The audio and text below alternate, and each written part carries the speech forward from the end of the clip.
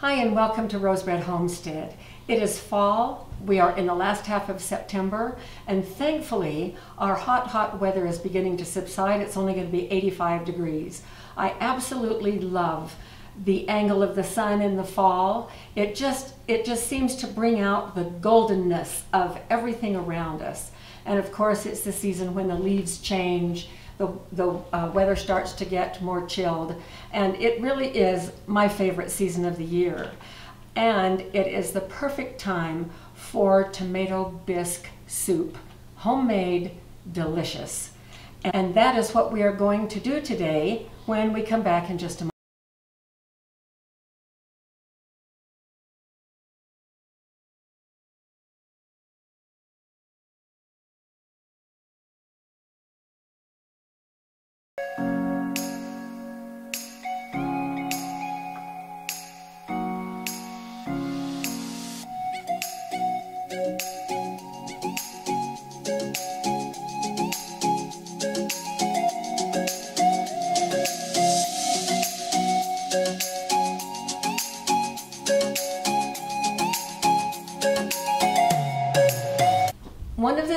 About food safety in canning is that if you know a few of the really basic principles of good food safety, and especially um, aligned with the recommendations of the USDA, it is okay for you to do a little bit of experimenting on your own.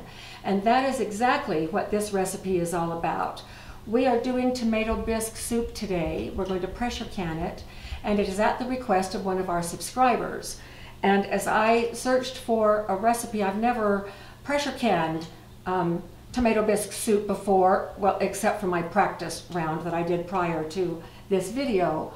And so I went in search of good instructions for home canning tomato bisque soup, and I did not find any. The USDA does not have a recommended recipe. So, combining what I already know about best practices of canning, I have put together a recipe that um, Jim and I think is really pretty good. So I'm going to be sharing you what those best practices are so that as you experiment, you can still stay within the good, safe food guidelines. Now, our recipe today um, is not going to turn out in the jar a soup that is ready to heat and eat. And that is because we've got to follow guidelines, and I'll share those with you as we go. So if you look right here, I have everything already. Tomatoes, celery, onions, um, this is garlic, some spices, and then the thing that holds it all together, which is broth. Now, originally, tomato bisque soup was based on a shellfish broth, uh, but that has become less and less popular and has now been replaced more with a poultry broth. Now, uh, when I make it um, just from scratch to eat without canning it, I'm to I do things differently than what I'm going to show you today. But while these jars are processing, we're going to come back in the kitchen because it's almost lunchtime and we are going to open one of these jars that I canned in my practicing and I'm going to show you what to do to get it from the jar um, to the table with a couple of extra additions. So let's get started. The first thing that we're going to talk about is the broth. Now, um, in my practice, um, I used our um, turkey, roasted turkey broth. We have a video on that. And oh my gosh, it was so yummy. Today, I'm going to use hand-canned chicken broth. No, actually, this is not canned. I didn't process it. I cooked it down from a couple of leftover um, broiled chickens that we got at Costco. And I made this earlier this week. And this broth, I put it hot, hot in jars. And I put the lid, a new lid and ring on, but I put it in my refrigerator. I did not process it. So because this is cold, and here is one of the canning basic best practices, um, we are going to heat it. Now, these did seal, but I would never put these on my pantry shelf because they were not processed. And they're sealed, which is good, but uh, they've been in the refrigerator for about four days. So I'm going to dump these into this pot and we are going to heat this broth. We don't ever want to add cold broth to something that we are going to be putting in a hot canner. And our canner right now is being brought up to a simmer out on our stove, our canning stove um, outside. So I'm going to heat these up so that they will be either very warm or hot by the time we put them in the jars. Not necessarily boiling, but we do want them to be nice and warm.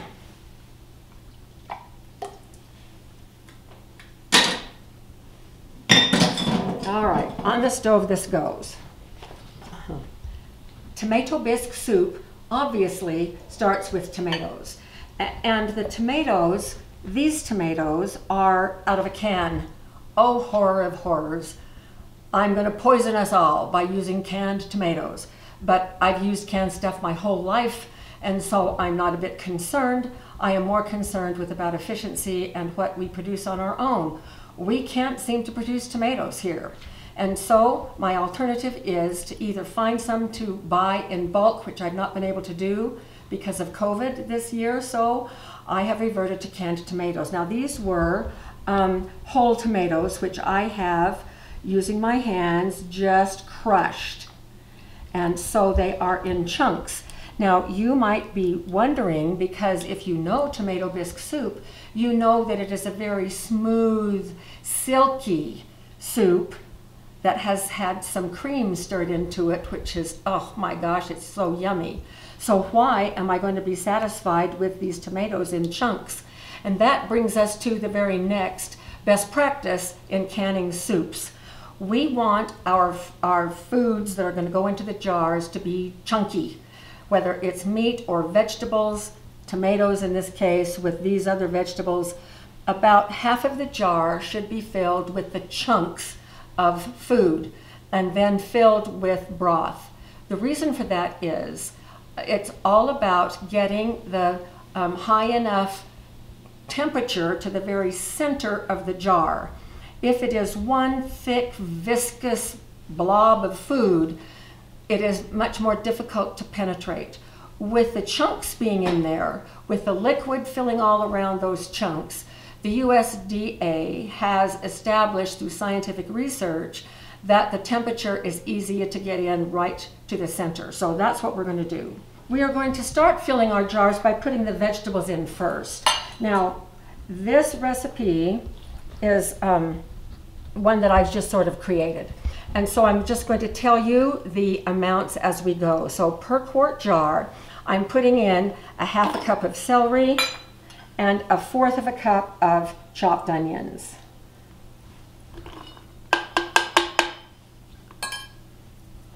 Then we are going to add a cup and a half, and I want to get a combination of the chunks and the juice, a cup and a half of the tomato mixture. So here we go, cup and a half right here, and I'm going to pour that in on top. So this shows that we have about a half a jar of the chunky vegetables um, uh, in the jar. Now I'm going to add the seasoning. So I'm going to put just a little bit of salt. Um, we will probably add more salt at the table. And a couple of, uh, and a little bit of ground pepper. Um, this is ground cayenne. And I have a measuring set that measures a pinch and a dash and a smidgen. So I'm just going to put a smidgen, which is just a little tiny bit of this cayenne pepper. So about that much. And then my secret ingredient for tomato bisque soup is this is Spanish smoked paprika. And it gives the tomato bisque soup a fabulous taste. But you need to really be careful that you do not add too much of this. We don't want that smoky taste to be overpowering, but just to lend a little bit of aroma and a, a, a hint of a flavor. And I'm also going to use just kind of a heaping smidgen of that. And that's the extent of the spices. And then we will come back and at the end we will add the broth. So I'm going to do one more jar on camera and then I'm going to fill the rest of them um, off camera. So here we go, a little faster this time. Half a cup of celery, fourth of a cup of onions. Oh, I forgot on this one, I forgot I'm using about a half of a teaspoon of chopped garlic. So let me go back and put that in that one. I'm going to put that one in here. And this was about seven whole cloves, large cloves of um, garlic. And then I'm going to add the tomatoes, cup and a half.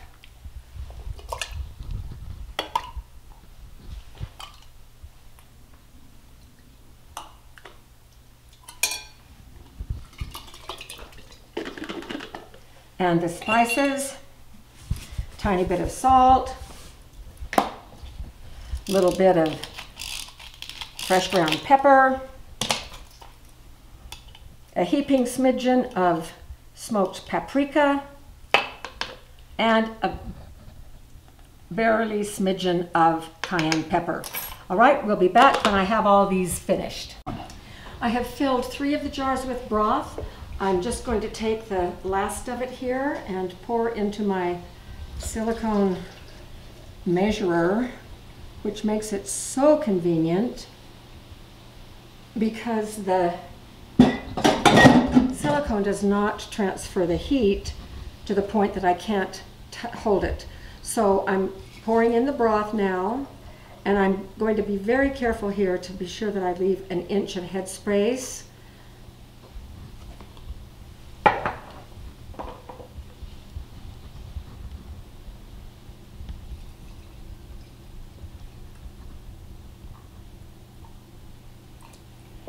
In terms of the tomatoes that you would want to use, if you have homegrown tomatoes, um, you can prepare those any way you want to, so long as um, the consistency is kind of chunky, the way we demonstrated here, so you have a combination of juice and the chunks of tomatoes. And the seeds are okay, because in the end, we're going to blend this up to where the seeds are going to be obliterated. Now notice that I have run out of broth here, my home canned broth and I still have a quart and a little bit to do. So I am going to mix up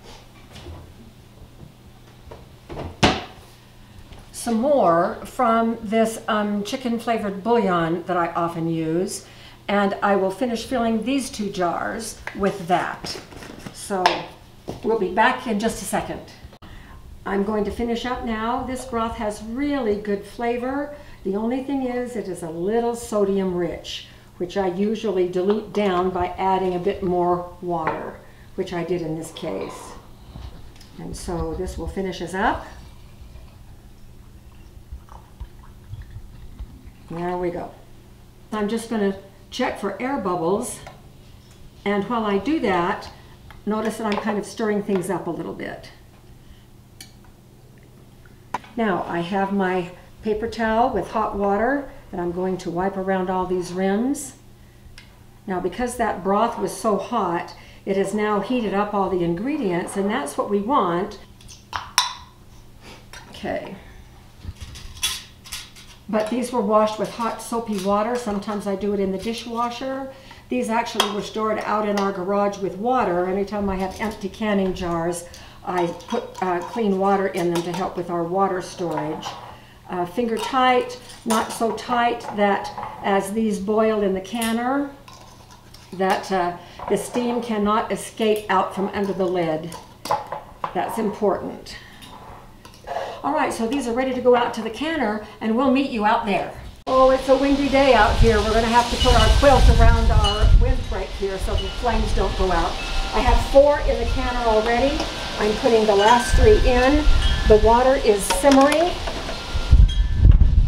so we have a hot canner, hot jars, seven quarts, putting the lid on.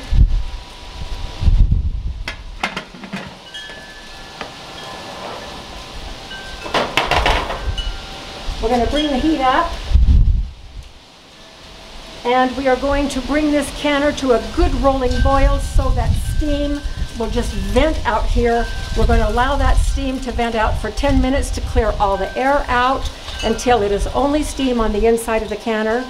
Then we will put the weight on the vent like this and we're going to bring it up to, uh, for our elevation, uh, 13 pounds. We keep it between 13 and 15 and we will process these for 90 minutes.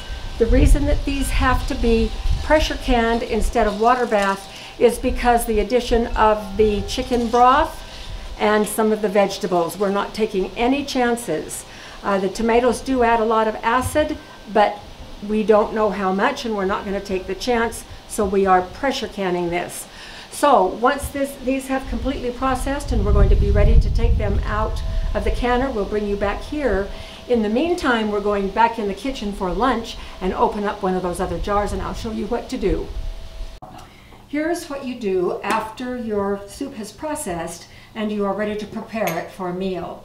You know, it would be lovely for us to just go to our shelf and take off a jar um, and open it up and heat it and have it already be tomato bisque soup.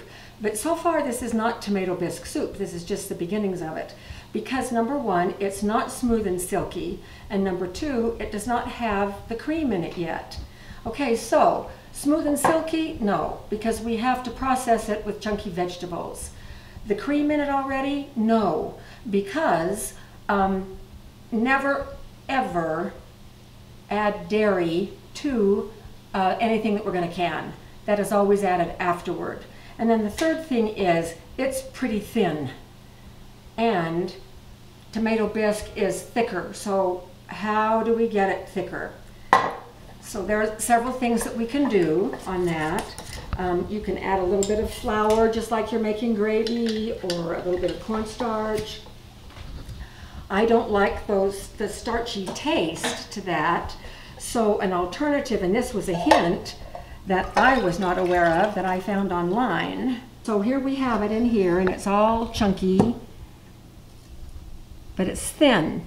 And so the hint was to add a couple of tablespoons of rice. Now, I have no idea what kind of rice this is. It's rice that I've had on my shelf for a long time. If you're particular about your rice, then be particular about what you put in here. But the rice serves two purposes. It will help thicken the tomato bisque and it also helps make it smooth and silky. So this will take about 20 minutes to heat in order for the rice to cook and thicken things up and then Oh, I'm so excited about this. I can hardly stand it. This is my, whoops, my brand new immersion blender. I didn't even know these things existed. A couple of our subscribers, that's because I'm, you know, um, a, a, woman of a certain age, shall we say. Um, I didn't even know these existed until a couple of our subscribers suggested it. And so I've been doing some research on it for quite a while. And finally, in order to do the, a good job on this while it's still hot and in the pan, I'm going to give this a try out. This will be my very first time using it. So we'll come back in 20 minutes when we are ready to smooth things up and get it served. So you can see my roses that Jim got me, you know, just for no reason at all because he's a great guy. Um, he, he often surprises me with roses, which is one of the reasons why we're called Rose Red Homestead. So um, this has been uh, simmering for about 20 minutes. It has accomplished two things. It has certainly cooked the rice. You can um, see the rice as it is cooked right there, and it has also thickened it up just a little bit by evaporating some of the liquid off. Now, one more thing before we go any farther that is really important as a best practice in canning is that in addition to not ever putting dairy in foods that we're going to can, we don't ever put thickeners in. No flour, no cornstarch, now, the mark of tomato bisque is to be smooth and silky. Like I say, I've never used this before. I've read the directions and I've had a dry run, but never in food. So here we go. I hope it's as good as everybody says. And I'm very inexperienced in this, so I'm not sure how it's going to do. Maybe you do this. I'm sure some of our subscribers will respond by telling me a good technique.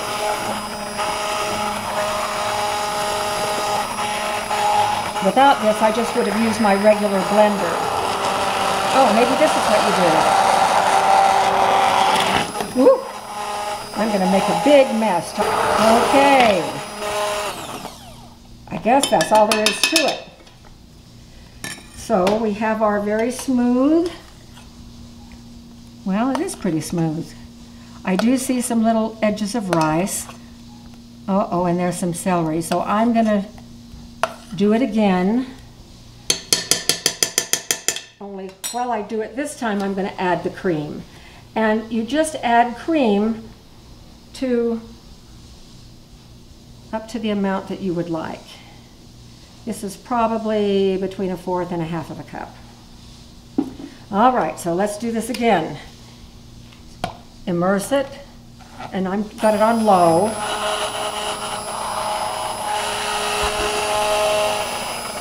So it's mixing in that cream. It's going to lighten it up. Next, we're going to dish it up. And we are just going to have a very light lunch, so we're not going to be serving anything with the soup today. Uh, we have a lot of options that we could serve. We've got fruit, we've got homemade bread, except I forgot to get any out of the freezer this morning. So this is for Jim. He likes bigger helpings than I do. And then here's mine and it looks like we'll have leftovers for about one more serving. So the pepper is still very visible.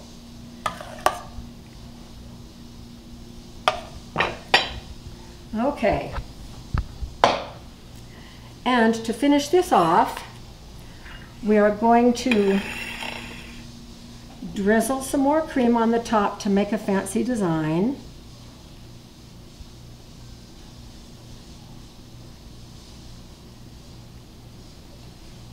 And I think you just, I've never done this before either, but I think you just kind of stir it to make twirly designs.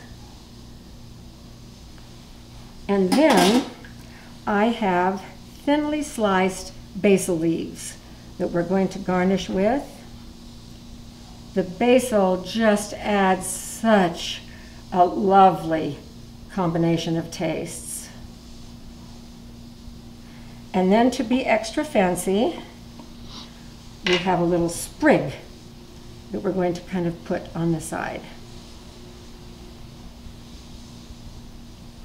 So here we are. Tomato bisque soup.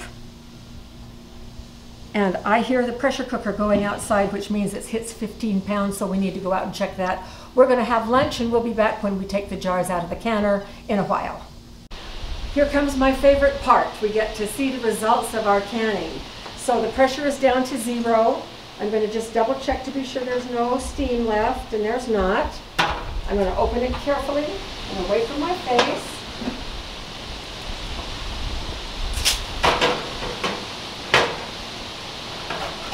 And let's see what we've got.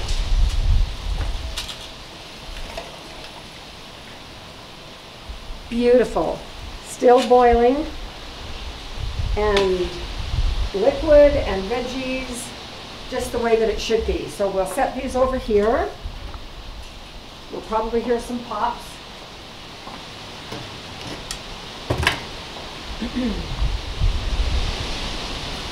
so now we have seven more quarts of tomato bisque soup to put out in the pantry. The soup we had for lunch was just delicious. This will be a fabulous addition for us to have ready for chilly fall evenings or even into the winter. So thank you so much for joining us and thank you to our subscriber who first suggested that we look into doing a tomato bisque soup. So we will see you at our next video.